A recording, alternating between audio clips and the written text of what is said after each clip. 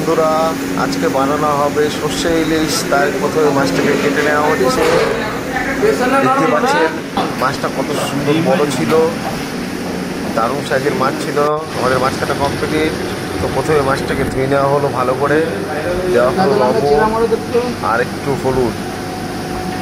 তো লবণ, হলুদ দিয়ে মাছটাকে মাখিয়ে নেওয়া হচ্ছে।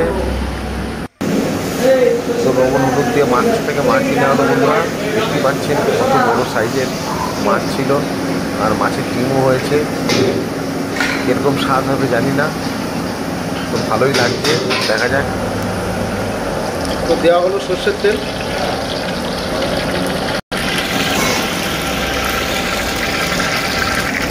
দেওয়া হলো কালো জিরে, দেওয়া হলো ছেঁড়া কাঁচা লঙ্কা।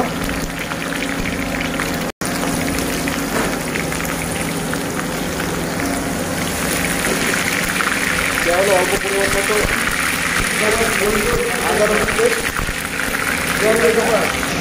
দেওয়া হবে সর্ষে আর পোস্ত বাটা, একসাথে বেটে নেওয়া হয়েছে। এদিকে দেওয়া হলো পরিমাণ মতো হলুদ।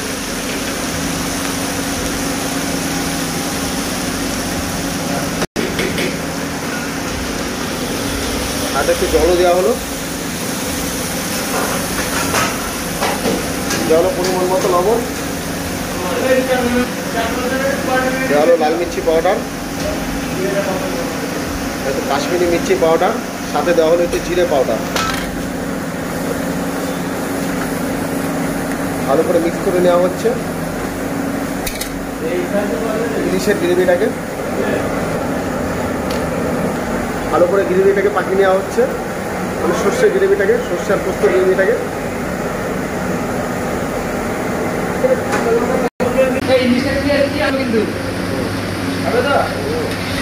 তো বন্ধুরা ফাইনালি আমাদের গ্রেভি পাকানো কমপ্লিটের দিকে দেওয়া হচ্ছে মাছ।